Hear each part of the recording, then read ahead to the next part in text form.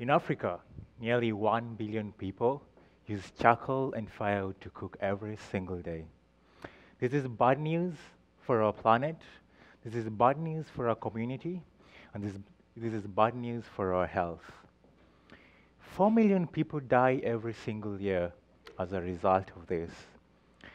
4 million is the equivalent of the entire population of the greater Seattle metropolitan area. 4 million lives that need not to be lost. And for most of these families that live on 2 to 3 dollars per day, cleaner energy is beyond their reach. The effects of this on the environment is even more profound. In Kenya alone, we lose 125,000 acres of trees to make charcoal every single year. 125,000 acres is 15,000 CenturyLink soccer fields. For most of these families that do not access clean energy, that have to use charcoal or firewood, even though the effects of what they're doing is profound on the environment, they can do nothing about it. And one of those families was my family. Ladies and gentlemen, my name is Tom Osborne, and I'm the founder of GreenChar. Today, I want to take you on a journey 9,000 miles from where we are today to the vast continent of Africa.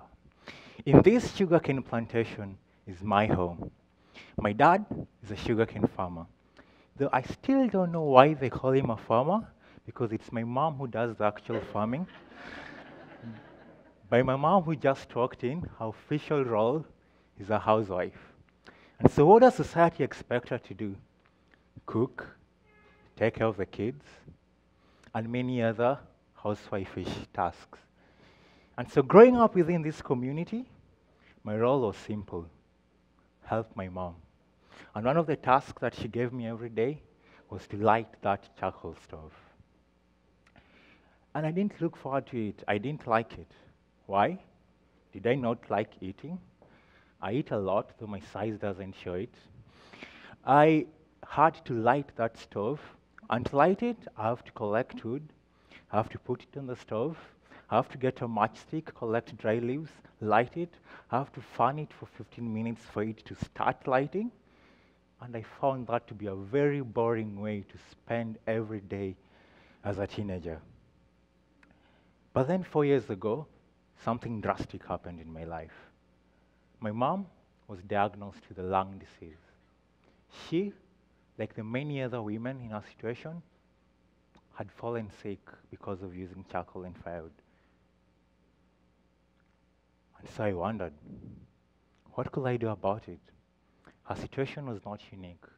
There are 10 million women in Kenya who are like my mother. And so I was only a 14 year old kid in high school.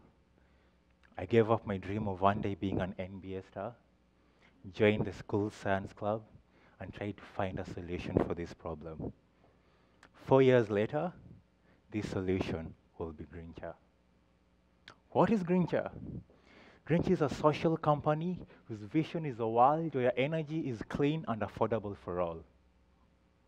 The first step to realizing our vision is recycling agricultural waste to form an alternative fuel for charcoal and firewood in rural Kenya. How do we do it? Simple. We source sugarcane waste from sugar companies. We take it to our processing facility where we convert it into green charcoal that can be used in traditional stoves and modern stoves. Our main product is called Makapoa. Makapoa, in my vernacular, simply means cool charcoal. It is a green charcoal that can be used in homes around the country. Why Makapoa? Simple. Makapoa has no smoke. What this means is that it reduces the risks of getting lung diseases while cooking by over 80%. As if that is not enough, it is long lasting. And so families can now use less to cook for more. And it's also low cost. And it allows families to save up to $200 a year. Well, how much is $200? I'll tell you what $200 is in Kenya. With $200, I can pay for the rent of a two bedroom apartment for three months or take my kid to school for an entire semester. It is also made from agricultural waste, which means that it is eco friendly and sustainable. We do not stop at production, we distribute our product. And our model is simple we empower women and young people to be at the forefront of our distribution. They are our distributors, and by distributing our products, they have a, we provide them with a path to a better life. Those closest to the problem are closest to the solution. But true social impact is about changing someone's life. And for us, that someone is Nyagidea. Let me tell you about Nyagidea. Nyagidea is a widow and a mother of six. And to make ends meet, she makes charcoal from cutting down trees. But still, this only gives her $50 a month. But in the 10 months that Nyagidea has worked at GreenChar, she's increased $50 to $200 of monthly income. And this is just the beginning for her. But we need to scale up GreenChar. We need to make this story not about my mother, we need to make this story not about Nyagidea. We need to increase our distribution from the two towns where we are to 10 more towns in the country. We need to scale up our production. We need to improve our production process. And for that, we are raising only $300,000.